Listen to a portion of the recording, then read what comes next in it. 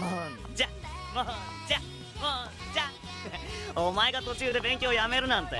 よっぽど腹が減ってたんだな。ああまあっていうか勉強になってなかったし。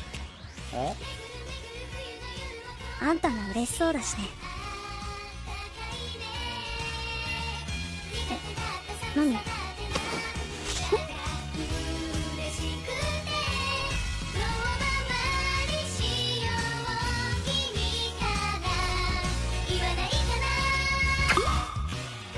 あれ？ドキドキしねえ。あれ？なんでだ？この間も思ったけど俺全然お前にときめかねえ。なんでだろうな？前はあんなにドキドキしたのにな。あ でも雫のことは大好きだぜ。おい早く行こうぜ雫